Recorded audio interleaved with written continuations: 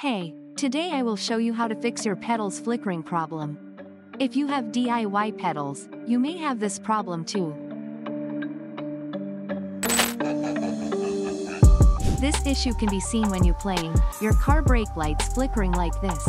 Also, your vehicle control is getting a bit weird because of this. In my early video, I said that happened because of the bad potentiometer. But this also happened because of the power supply voltage noise. This can be your PC power supply, or steering wheel power supply. Okay, the solution is really simple. We have to make noise filters for every potentiometer. This project requires these resistors and these capacitors only. So, let's get started. This is the diagram.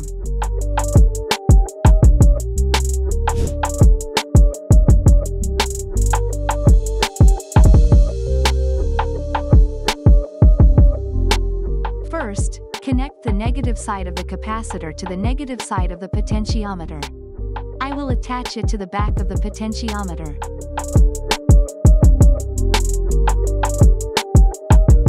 Then connect the positive side of the capacitor to the middle pin of the potentiometer.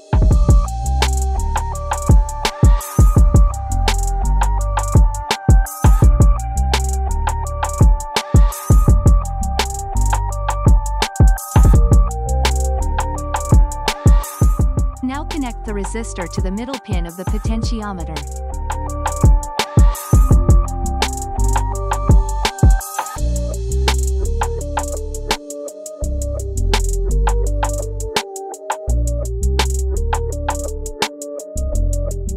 You need to make this for your every potentiometer. But I made a separate circuit board inside the steering wheel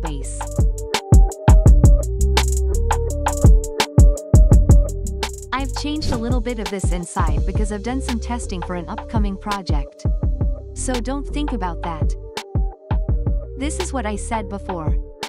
The Arduino's pedal outputs are connected directly to this circuit, and then connected to RJ45 connectors. You can understand from this picture.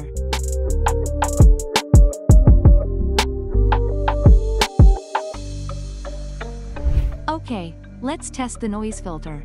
You can see it's working very smoothly. So you can make this any way you like, separately or as a circuit like this. Okay, that's it.